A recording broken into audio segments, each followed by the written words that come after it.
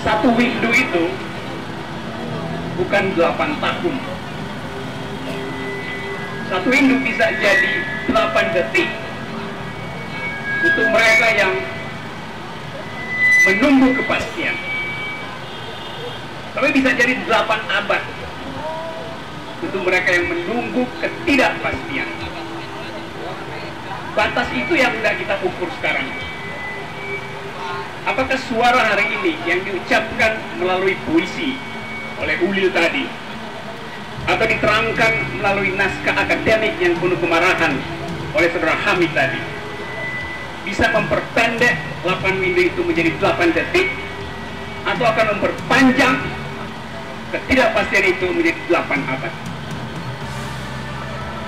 Ketika seorang aktivis entah dia mahasiswa pejuang hak asasi manusia memutuskan untuk terlibat di dalam politik dia tahu risikonya. Yaitu nyawanya bisa lenyap. Tetapi dia lebih tahu bahwa keadilan tidak mungkin dilenyapkan bersamaan dengan lenyapnya nyawa. Karena itu selalu ada harapan pada setiap aksi politik, setiap aksi perlawanan. Yaitu bahwa keadilan akan dipulihkan oleh rejim baru. Hanya itu dasarnya kenapa orang melawan. Dan hanya itu dasarnya kenapa kita ada di sini setiap hari Kamis. Yang diluncurkan hari ini bukan website bukan situs tapi janji untuk menagih. Dan janji itu kita tanamkan pada Munir, pada Wawan, pada 30 sekian kawan-kawan yang hilang. Tapi Munir bukan nama orang, Wawan bukan nama orang. Munir adalah nama sejarah.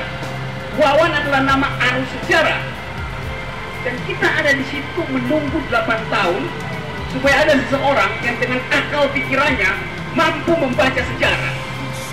Tapi tak terjadi pada SBY, tak terjadi pada Jokowi. Yang terjadi adalah kebalikannya.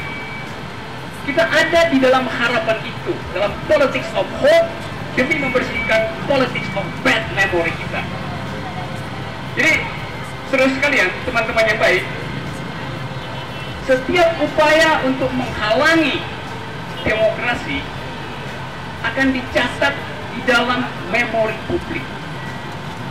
Dan kita belajar dari situ bahwa yang ingin diucapkan hari ini bukan menuntut keadilan karena itu adalah bahasa yang tadi di dalam seharusnya kita punya bahasa yang sama dengan Jokowi punya bahasa yang sama dengan Yusuf punya bahasa yang sama dengan Yudhoyono tetapi formasi kita berbeda. Kita berpikir bahwa pemerintah sekarang tidak perlu punya hati tidak penting hati dalam demokrasi. Yang penting adalah isi kepala untuk membaca dokumen-dokumen hak asasi manusia, membaca sejarah, mempelajari konsep keadilan, dan itu tak dimiliki oleh pimpinan tertinggi. Kita tidak bisa berharap ada keadilan tanpa akal yang bersih di dalam membaca ketidakadilan. Jadi demi itu semua kita berkumpul di sini dan tentu ada harapan terus-menerus bahwa kita tidak sekedar ingin untuk memastikan bahwa ada penyelesaian terhadap soal-soal ini, tapi kita ingin agar supaya bangsa ini tumbuh di dalam peradaban yang etis. Yang kita investasikan selama ini adalah infrastruktur, entah di laut, entah di darat. Tapi kita tidak menginvestasikan justice. Kita tidak menginvestasikan etik.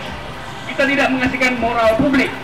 Di situ, dalam ukuran modern, negara, pemerintah yang gagal menginvestasikan etika adalah pemerintah yang kumuh. Pemerintah yang kehilangan hak untuk meneruskan sebuah kekuasaan. Di dasar itulah yang ingin saya ingatkan bahwa kita bukan sekedar menolak lupa, tapi kita tidak pernah akan lupa untuk terus menolak. Terima kasih.